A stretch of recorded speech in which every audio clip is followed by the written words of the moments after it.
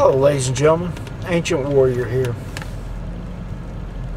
Let's talk about taste deprivation.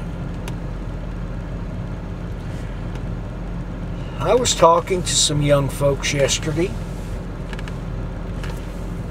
and he's a real smart guy. No ifs, ands, or buts about it. He works with computers, he does all this stuff. So we were sitting discussing why I prep. And I told him that, I'm not preparing for any certain catastrophe. I'm just preparing for the one that hits me next. Whether it's unemployment or a nuclear showdown with China, Russia, or North Korea, or Iran, or or a tornado coming through my town, or a blizzard in the middle of the winter. You know, folks,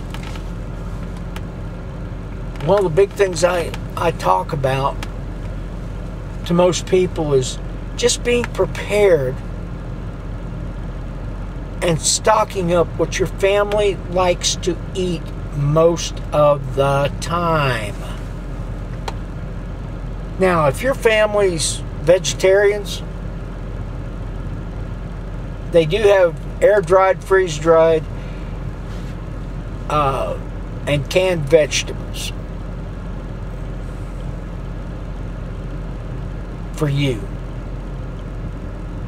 If you're a uh, carnivore,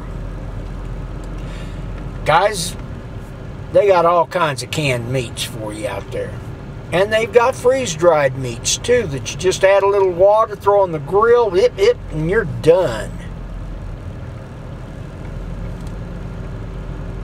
The freeze dried meats can become very pricey.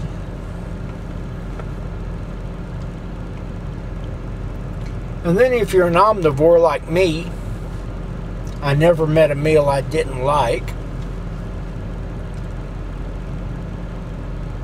Then you're in better shape. Because you can eat just about anything.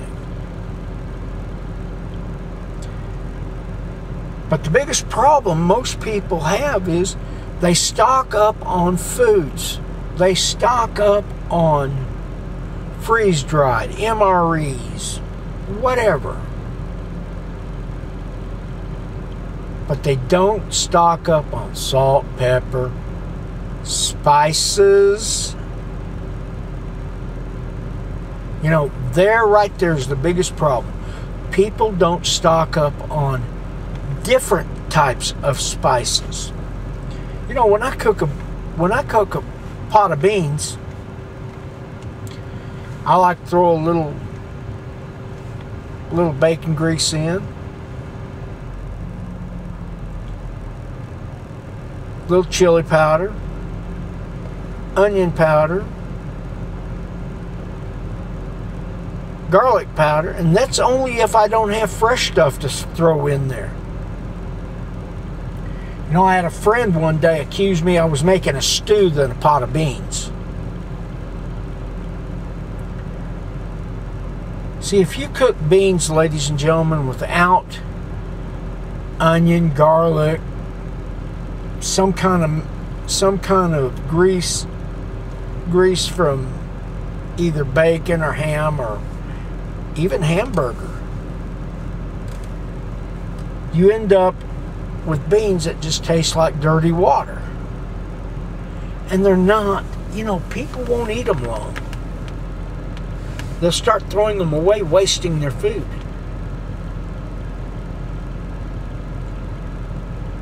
I also like, you know, I got, I acquired here this summer powdered jalapeno. Oh my dear God. Powdered jalapeno. I gave some to a friend of mine. She sprinkled it on her popcorn, and I thought she was going to die because she'd used so much. That little scoop I handed her of jalapeno was the equivalent to almost a jar of jalapenos. It's fun to watch people who are not used to doing things like that using stuff like that. But she did set me down and teach me how to make tortillas. We're working on various other things because if you cook, folks, you need to learn to cook various things. Don't be a one trick pony. But back to taste deprivation. Most people starve to death due to the fact that they're eating the same thing over and over every day, and their taste buds die.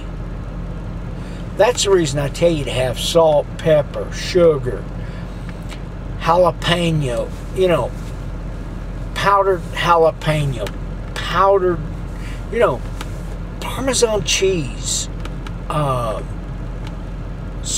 pepper, turmeric, rosemary, all in powdered form so that you could sprinkle it in your food.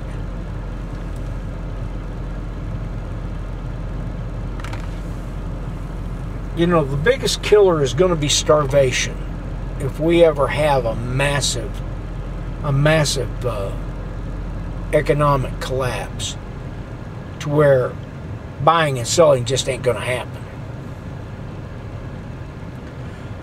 So, with that said, folks, please, please, please buy spices. Go to Walmart. Go to the Dollar General, Big Lots, uh, Family Dollar, wherever, whatever you have in your area. And buy the cheap little containers of spices. And stick them in a, you know, get you a tote, market, a small tote that says um, onion and garlic and go that way. Because, folks, those can also become trading, become bartering tools. Especially salt. Salt's got so many versatile uses. If you live in an area where you can get jars of honey and keep them in a cool, dark, dry place, honey never goes bad, especially raw honey. I can't say too much on this pasteurized stuff. We've gotten to the point to where we we pasteurize every dang thing to death. So, folks, welcome back to Free America. Become a stable citizen of Free America. And to be a stable citizen of Free America, you need to have at least at least a six month to a year supply of food stored back. You got to be prepared for the worst.